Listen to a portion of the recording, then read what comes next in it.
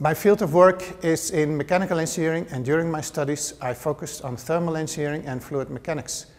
Currently I also work in solid mechanics and material science aspects.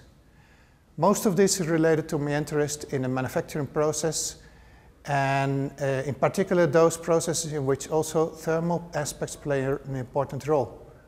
One of my special interests is laser assisted processes in which a high power laser is used for cutting, welding, drilling and so on. An example of these processes that we now work on is additive manufacturing or 3D printing of metal products.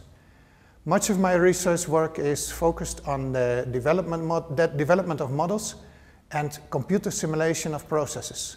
Based on the computer simulations, we want to better understand and predict the physics of the process, and that understanding is the key to the improvement of the process.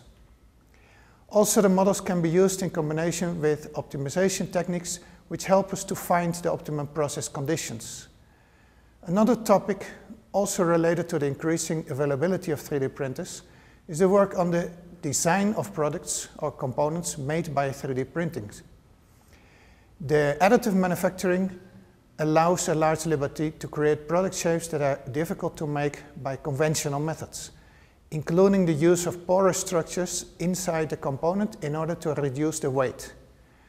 But even though additive manufacturing has a large freedom of shapes that can be produced, it also has its limitations.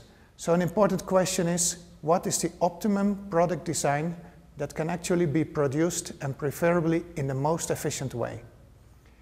So again, we try to predict the structural behavior of the component, analyze the manufacturing limitations, and try to use optimization methods to let the computer find the optimal shape of the component.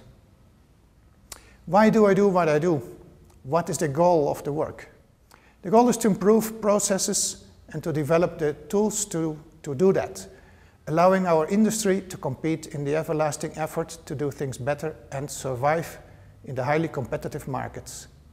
However, the most important goal is to prepare our students to make their contributions to the world.